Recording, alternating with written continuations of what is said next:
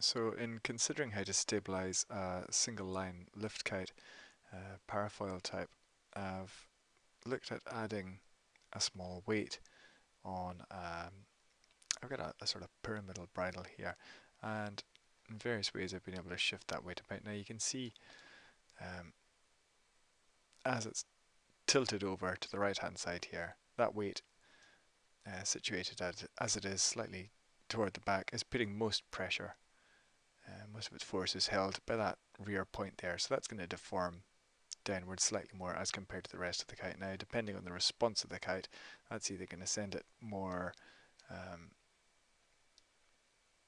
upward like that. Unfortunately, in the in the case of one of the other kites I've got, that would work opposite. This is the response we're looking for. That um, that balance would throw it back to the vertical. That's the case we're looking for. We're always wanting um, gravity steering the parafoil instead of the wind direction steering the parafoil so that it's taking to going upwards. Now, oh, that weight is slightly off center there, isn't it? Um, that should be in the center of the kite. Right. Now,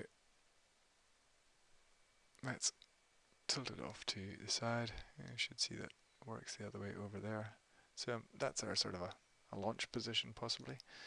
Um, once that line settles down, most of the yeah most of the force is on that side again, and now with a lot of a lot of uh, long span kites, more more force on that will make it rise upwards. So that's the the response we're looking for there. So that deformation would bring us upright back to you know, back to this kind of position.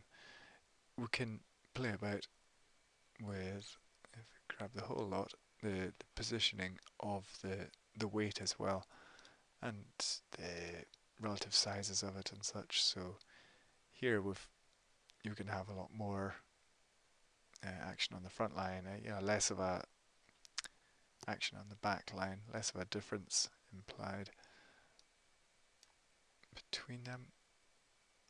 Well, there'll still be the difference left or right, I suppose, but it'll be more evenly spread across the two, the two of the side.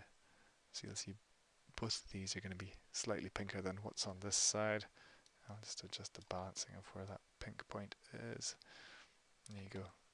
You can see them come in there. And that pinkness, the redness in here indicates um, the amount of strain in the line implied there.